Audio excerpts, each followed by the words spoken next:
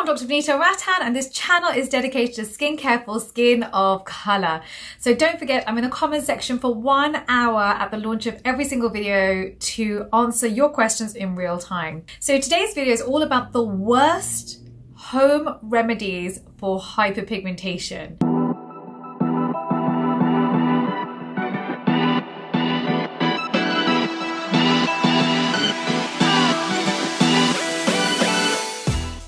Now, hyperpigmentation is my greatest passion. Um, I don't know if you follow me on Instagram at the Hyperpigmentation Clinic, but I've treated about 30,000 cases of pigmentation for skin of color with a 95% success rate. I actually formulated the world's first pigmentation treatment for skin of color of a professional grade and also the world's first dark circles periorbital pigmentation treatment for skin of color. So pigmentation is my passion and my love and you know the thing that I have geeked out hard on. So today's video is actually one that has been a while in the making because I've seen so many mistakes when it comes to treating pigmentation and so many DIY videos on YouTube that people then go follow burn their skin, especially if you've got skin of color, and then will come and see me. And ultimately, this video is to prevent it ever happening again. I don't want to see any more burns from DIY products worn at home. Okay, so starting off with the number one culprit, and that is lemon juice. Lemon juice is awful. It's literally the worst thing you could put on your face. People think, oh, but it's got vitamin C in it. It's citric acid. It's a very potent AHA that is absolutely not suitable for skin of color. I mean, it's not even dosed properly. We're not even putting the correct percentage on your skin. You're literally just getting a lemon and squeezing it onto the face or into a mask and then putting it on the face with no calibration of pH. It's a tiny molecule and it causes a lot of irritation and burns. Can also lead to phytophotodermatitis.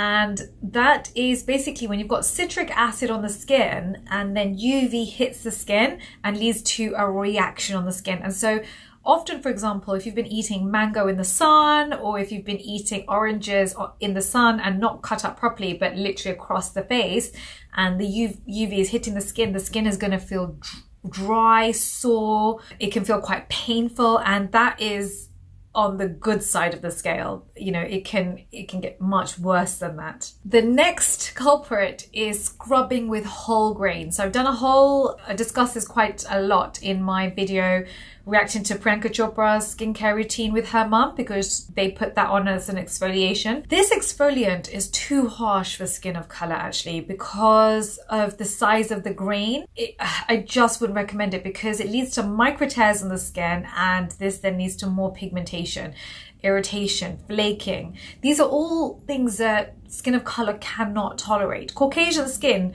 you can literally burn that top layer of skin away, burn off the epidermis, and they will still be fine. The skin will grow back beautifully. For us, we have one scratch, one bite, one burn, and we pigment. So we have to be so careful with our skin. We have put so much love into our skin because it just can't tolerate, you know, the sort of abuse that you get from stripping the skin with a whole grain, for example. Number three is turmeric. So turmeric actually, um, everyone gets introduced, if you're Indian, everyone gets introduced to turmeric on their ceremony. I mean, for us, we call it the Vatna ceremony where you, you know, they scrub you down with turmeric and it could be the first time you've ever put turmeric on your skin and you could be allergic. So if you're getting married and you know the ceremony is going to take place, please, about a week before, I would test you know, test it on your skin behind your ear just to make sure you're not reacting. Because the worst thing to happen would be your wedding is about to take place that day or the next day, and you come up an allergic reaction across your entire body because it literally goes everywhere. So, um, yeah, number one, I'd say that. Number two, the active part of turmeric is actually curcumin. And curcumin has a very low bioavailability, and so it gets metabolized very quickly. You don't get much benefit from that particular active. So, although turmeric is really not the worst in this list at all by far, this is probably the best out of the worst, it's not particularly effective, even though it's come down through the generations. I mean, if you just look at the data, it's not that effective, but you know, it shouldn't harm you as long as you're not allergic. The next ingredient I really don't like, and that's garlic. And I just remember sitting in my clinic once, and a lady had come in with very severe pigmentation on the upper lip. And I remember asking her how, because usually when you have melasma, it usually doesn't become just very dark on the upper lip. You tend to have some other pigmentation, usually on the zygoma area as well.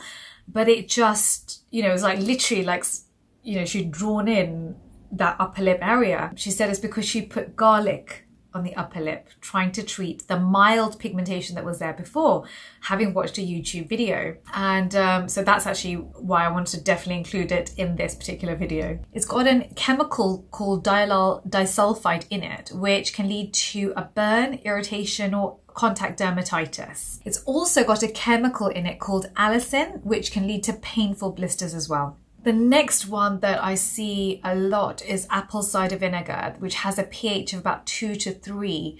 Now, apple cider vinegar, I've just seen so many burns cases of young women coming into my clinic, and there's one that I will never forget. It was a young girl who came in who was due to go to Pakistan to meet her future husband, and she had burnt all this side of her face by using apple cider vin- vinegar watching a YouTube video and following someone's recipe. Blistered, she didn't know what was going on. She was nervous. And by the time she'd come to see me, it was highly pigmented and she was meant to be going on an aeroplane the following week and her father hadn't even seen her face.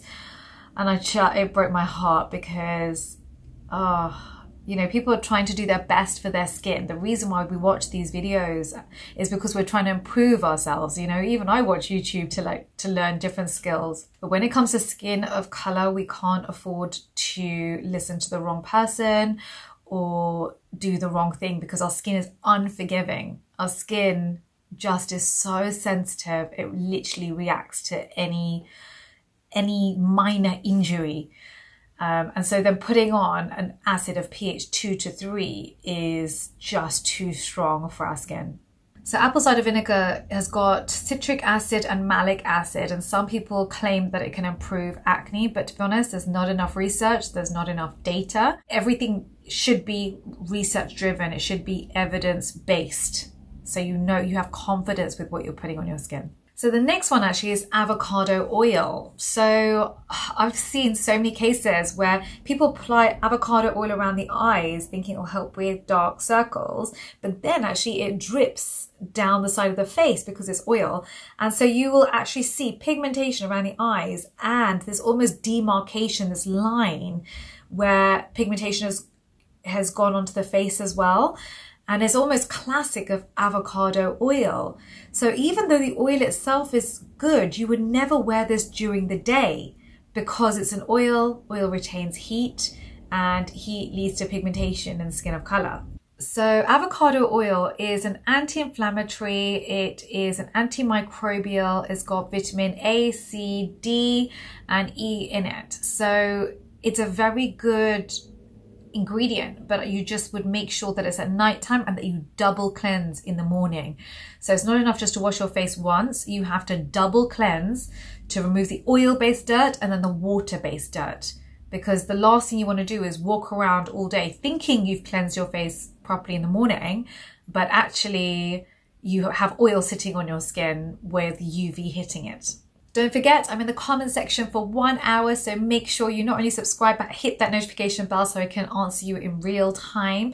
Please do download your free guide for Skin of Color. Put a lot of love into it. If there's any brands you want me to investigate, skincare brands, you know I love doing deep investigations into their ingredients list and the little small print at the back. Um, so just write it down below, whatever you want me to, videos you want me to make for you, and you know I will do it. Thank you very much.